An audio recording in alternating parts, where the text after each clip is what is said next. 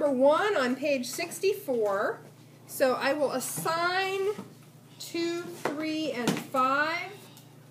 And we'll do number one together. A robot drops a camera. Oh, you know what? Let's not do number one. Sorry. I'll assign. Tell you what. Here's a deal for you. I'll assign two, three, and four, and we're going to do two together. Ooh, you get a freebie. So, a flower pot falls from a windowsill 25.0 meters above the sidewalk. That's pretty far up, folks.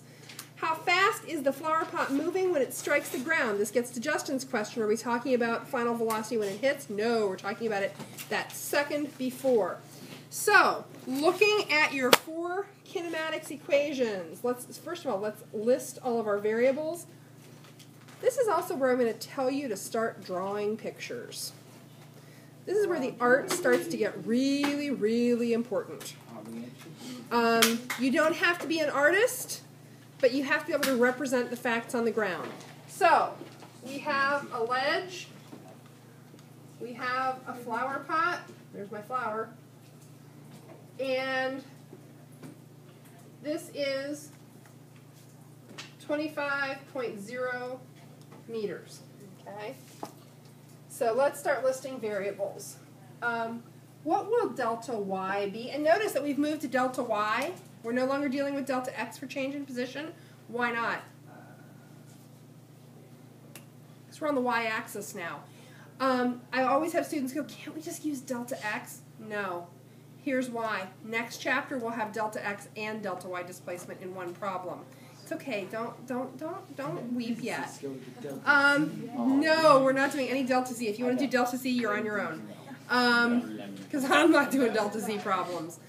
Um, so you want to get used to using the appropriate variable so that so yeah, you'll probably do it next year when you get to college physics. No, you won't do it in your first year of college physics. So what is our delta y? Be careful here. 25.0 meters. No. Negative 25.0 meters. Because this is traveling down. Oh. It's like if it was going up, would it be positive? Yes, if we were throwing it from the ground, it would be 25 meters positive. Okay, so displacement is delta y is negative 25 meters. Um, we have, okay, so we could have VI, we could have VF, we have acceleration, we could have time, we could have all of these things.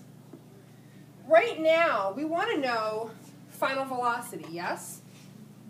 Yeah, we want to know that its velocity at the moment before it strikes the sidewalk. Do we know VI? Yes. Yes, what is it? Zero. Zero, starting from rest. Do we know acceleration? Yes. Yes, and it is Negative nine point eight one. negative meters per second squared. Oh, jeez. Thanks. Okay. Do we have an equation that ties these four things together? Well, put your note cards. I can't do it. It's just delta x. I, I can't use it. Oh, Two. this is going to be a challenge to you. Number two. What is it? VF equals um, A delta. I only way delta T. Dang. Dang it. So you got to connect all four of those. Which one, Olivia? VF squared. Yep. VF squared equals VI squared plus 2A delta Y. In this case, we're dealing with delta Y, not delta X. We don't even have to rearrange. All we have to do is take a square root. That's easy. We like that. So our, our entire rearrangement will consist of this.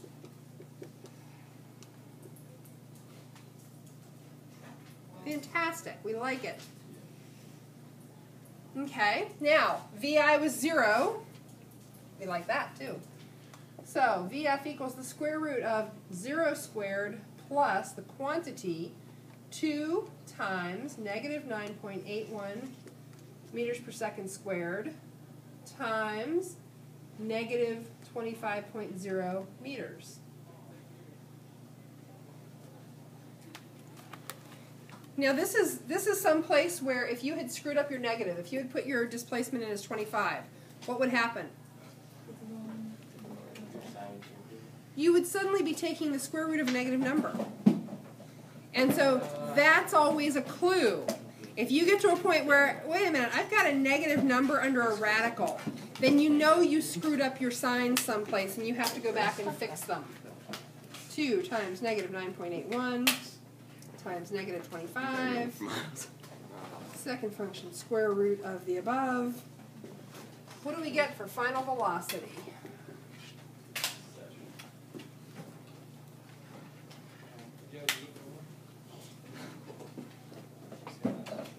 Who's got a number? Who's got a number? Twenty-two Okay, 22 what? point one four seven. 1, 4, 7, 2, 3, 4, 5, 9. Yes. What are my units? Meters per second. Meters per second. And let's check that those those work out um, dimensional analysis wise. We had meters per second squared times meters gives us meters squared over second squared. We took a square root. Perfect. We're good. So how many sig figs can we have?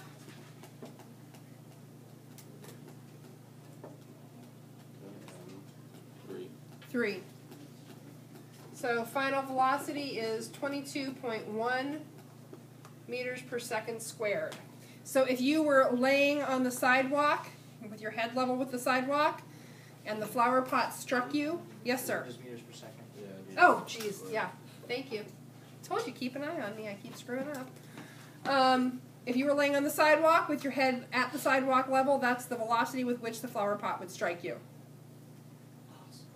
That's pretty fast. That's going to hurt. Okay, now that's part A. Let's look at part B. How much time does a passerby on the sidewalk below have to move out of the way before the flower pot hits the ground? So, let's get rid of all of this. And now we're looking at those four.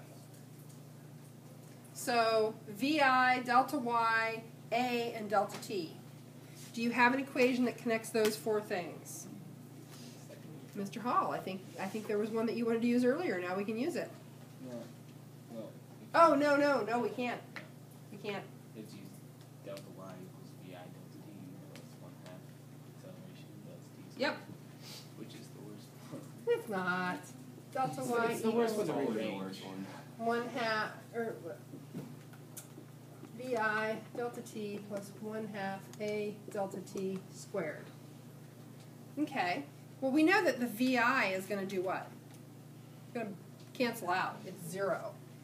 So delta y equals that goes away because vi equals zero. One half a delta t squared. We're solving for delta t. So we have 2 delta y equals a delta t squared. 2 delta y over a square root of equals delta t. It's not too bad.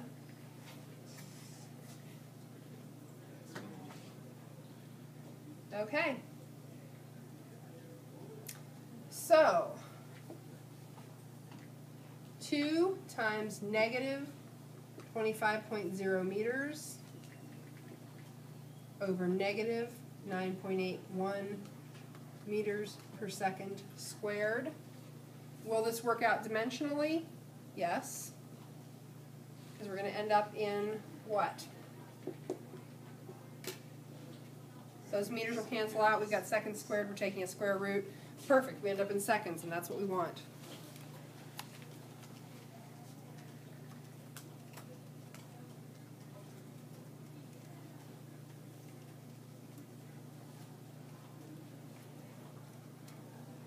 Okay, how many seconds do you have?